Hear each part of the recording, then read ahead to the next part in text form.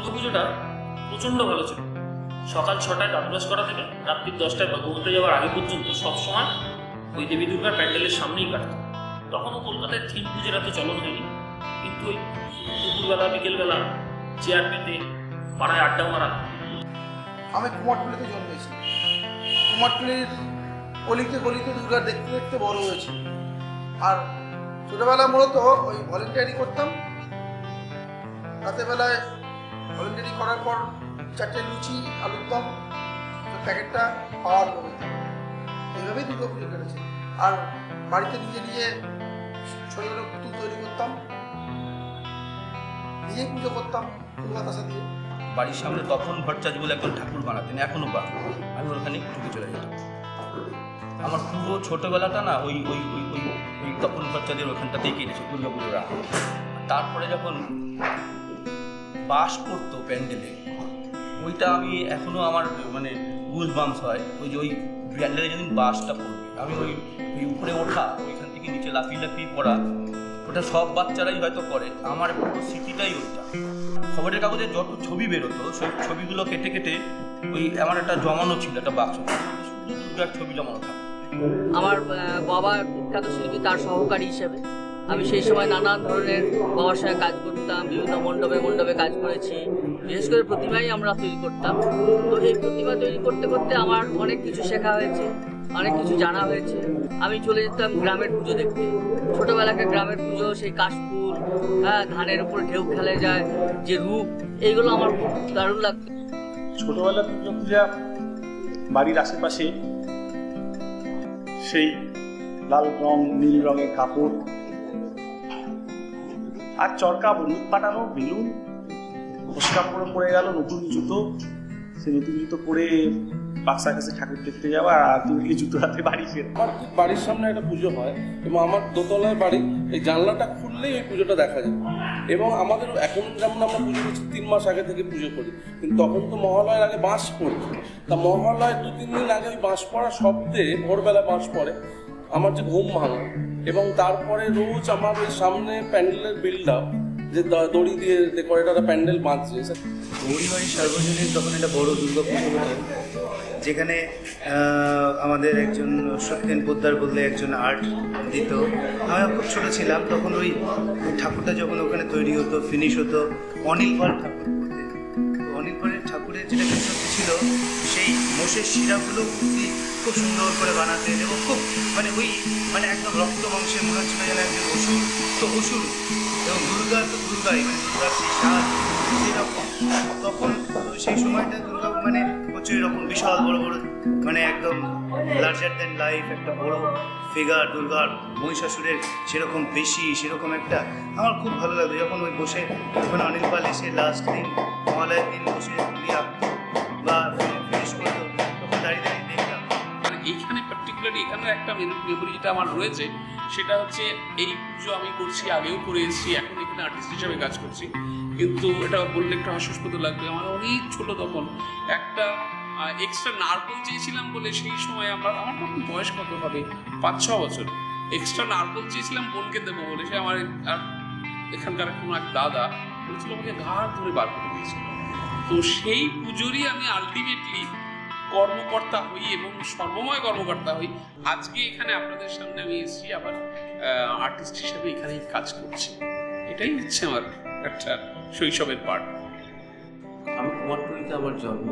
এখানে হাজার হাজার দুর্গা, বিভিন্ন রঙের দুর্গা, বিভিন্ন কালারফুল দুর্গা। দুর্গা ঠাকুরের যে চলে যাওয়ার সাত আট দশ দিন আগে, ওই যে কোনো মৃৎশিল্পীদের ঘর থেকে, যখন দুর্গা ঠাকুর যেত, বিভিন্ন জায়গায় ছড়িয়ে যেত। একটা অদ্ভুত সুন্দর হই হই হই হই একটা আওয়াজ, সব সময় রে রে রে রে রে করে একটা আওয়াজ। ওই যে একটা মানুষের গর্জন এবং দুর্গা ঠাকুরের দশ হাত মেলে দেওয়া, এইটা আমাকে খুব ভালো। দশ হাত মেলে দেওয়া, তার সঙ্গে মানুষের গর্জন মিলেমিশে, কোথায় যেন একটা প্রাণ। ছোটোবেলার দুর্গাপুজোটা আমার একটু অন্যভাবেই কেটেছে। অ্যাকচুয়ালি আমি গ্রামে মানুষ হয়েছি, ফলে কলকাতার পুজোর সঙ্গে আমার কোনো যোগাযোগই ছিল না। যেটুকু দেখতাম, হয়তো পেপারে বা যেটুকু বেরোতো সেটুকুই দেখতাম বা টিভিতে যেটুকু দেখতাম। ফলে কাছ থেকে দেখার সৌভাগ্য আমার হয় না।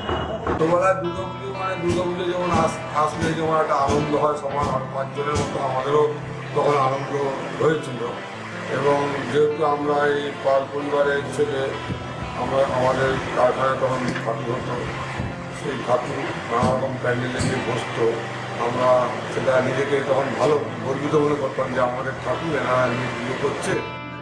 আমার ছোটবেলা কেটেছে আসামে। আসামে এমন একটা জায়গায় কেটেছি, সেখানে চারিদিকে সবুজ চা বাগান কয়লা খনি এই নিয়ে। আর আমাদের পুজোটাই হলো, শুরুই হলো ওই ষষ্ঠীর দিন পর্যন্ত আমাদের কাজ চলছে প্যান্ডেলে। ওই নিয়ে করা ফোটা ফাটাতো, বন্দুক দিয়ে ফাটা ফাটা ফাটাতো আর বছরে এক বছর অন্তর অন্তর বাবা পুজো- বাবার কাজের সূত্রে আমরা কলকাতায় আসতাম, পুজো দেখতাম। পুজোর সময় আমরা আসতাম, তখন পুজো দেখতাম নানা পুজো। তখন মোহাম্মদ আলী পার্ক, যাওয়ার জন্য মানুষ প্রথমে মোহাম্মদ আলী পার্ক দেখতেই হবে, কলেজ স্কোয়ার দেখতেই হবে।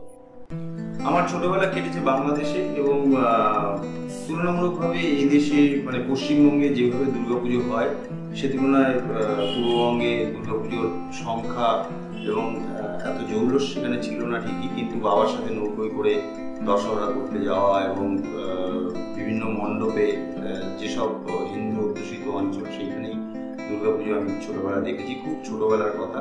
ভীষণ নস্টালজিক লাগে এখন, কারণ সেই ছোটবেলাতেই আমি বুঝতে পেরেছিলাম যে দুর্গাপুজো মানে সেখানে শুধু মূর্তি বা মণ্ডপের এত জৌলস ছিল না ঠিকই।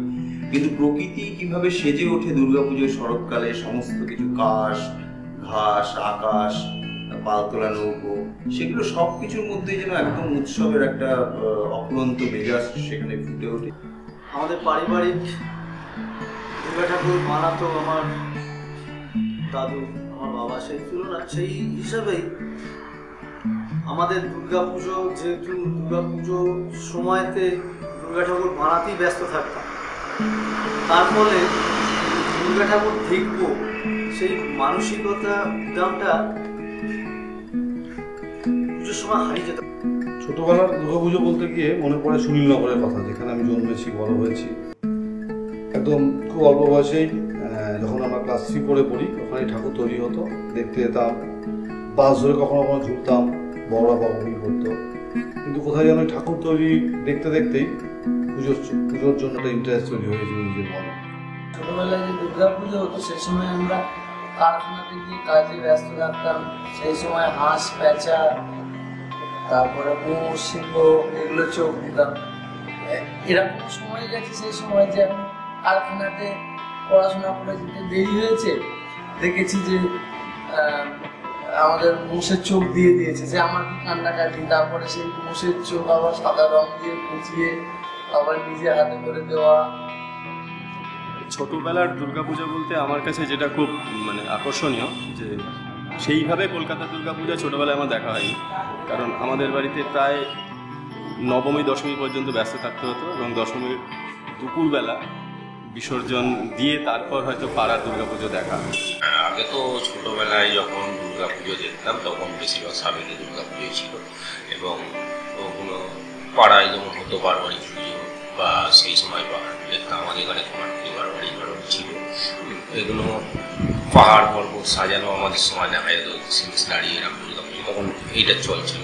ছোটবেলা থেকে দুর্গাপুজো আমি দেখতে খুব পছন্দ করতাম একসময় হারিয়ে গিয়েছিলাম দেখতে দেখতে। খুবই ছোটবেলা। আমরা একসঙ্গে গিয়েছিলাম এবং আমার মনে পড়ে, এবং আমি একটা পুলিশ ক্যাম্পে আমি সারা ছিলাম, তারপর আমাকে তারাই কাছে তুলে দিয়ে আমাকে এখন যেমন মহালয়া থেকেই ঠাকুর দেখা শুরু হয়, আমাদের সময় অষ্টমী করতে তা আমরা অষ্টমীর দিন যেতাম খিদিরপুর, নবমীর দিন যেতাম হট ক্যালকাটা ভবানীপুর, এই ঘুরে বেড়াতাম।